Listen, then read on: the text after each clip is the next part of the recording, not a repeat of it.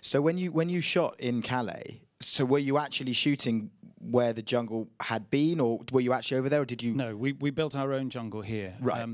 I don't know if you've if you've been to Calais recently, but it's it's it's a hostile place. Yeah. You know, I think you know even if you were just to go f- to get your cheese and wine, uh, it's a hostile place.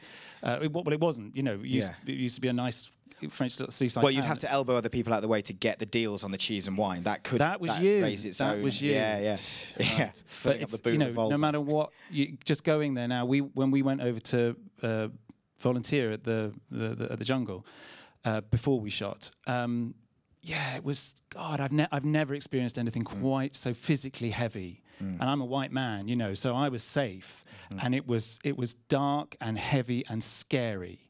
Uh, and then when we were back to shot, we just you know getting licenses and that was was very complicated. So we literally just did the cutaways, uh, and you know obviously Ivanno was in his costume most of the time, so he looked like a refugee. So it was it was really really intense. I've, n- I've I'm not being dramatic. I've never experienced anything like that before. Did you face much?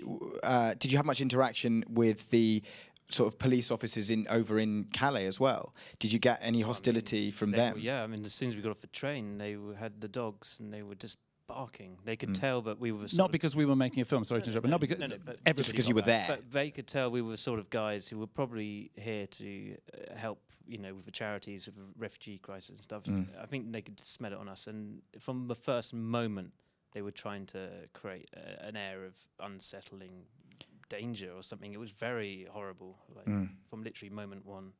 Well, I suppose it just highlights even further the importance of the film.